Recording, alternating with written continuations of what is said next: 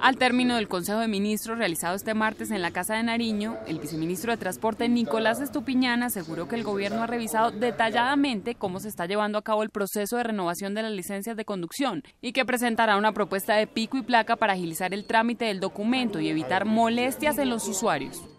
Llevaremos una propuesta mañana a una reunión con los secretarios de tránsito del país para establecer una especie de pico y placa basado en los últimos dígitos de la cédula que facilite el proceso de renovación en los próximos meses. El viceministro de Transporte reiteró que solamente las personas que tengan la licencia de conducción para servicio público y que se encuentre vencida deberán adelantar el proceso de renovación.